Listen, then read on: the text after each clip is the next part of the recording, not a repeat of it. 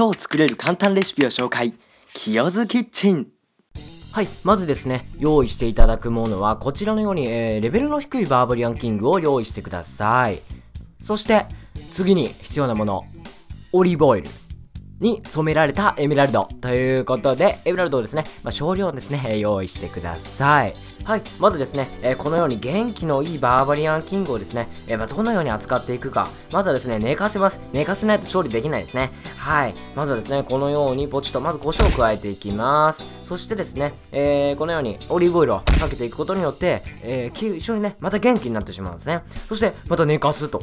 そしたらですね、また胡椒をですね、少々、えー加えることによって、えーバーバリアンキングがですね、また、えーオリーブオイルによって元気になると、あ、やばいやばいやばいやばいやばいやばい。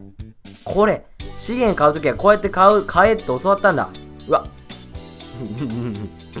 また出ましたよ、このオリーブオイル5667個。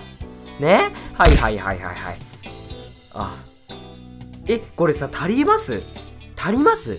まあまあまあまあまあ。ということでね、またね、こういう、次はですね、オリーブオイル、あ、こう、あ、胡椒ではですね、えーなくて、黒ごまをですね、えー入れていきましょう。あれ？あ、寝れましたね。はい、そうするとですね、黒ごまを振ると、なんか寝ちゃうんですよね、彼はね。はい。そして、えーこちらはですね、オリーブオイルではなくて、今回はブイヨンをですね、入れていきたいと思います。うーん。26? 26大丈夫？ちょっと。ちょっと心配になってきたな。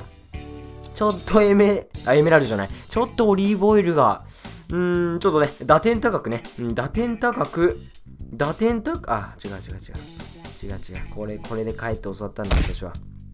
打点高くね、ちょっと黒、黒、あ黒駒をね、うん、ちょっとやっていきたいと思います。そしてですね、うーん、ちょっと、うーん、うーん、うーん、うーん、うーん、うん、うん、うん、うん。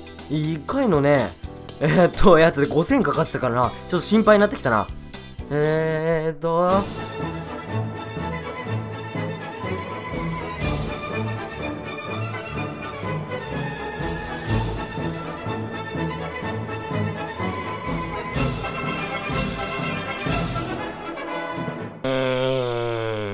30!